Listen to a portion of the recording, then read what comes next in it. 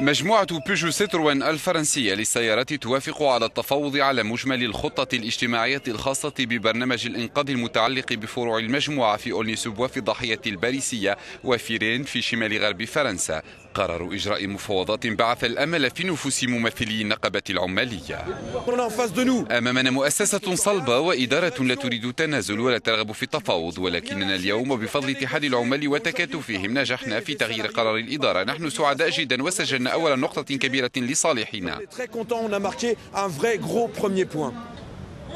ورغم رغبتها في التفاوض أكدت إدارة المجموعة أن قرار إغلاق فرع أولني سوبوا لا رجعة فيه. إغلاق فرع أولني سوبوا ضروري وإلغاء 8000 وظيفة هو المجموع ولكن من الواضح جدا وقلنا هذا منذ البداية نحن نعلق أهمية كبرى للحد من الآثار الاجتماعية لهذه الخطة.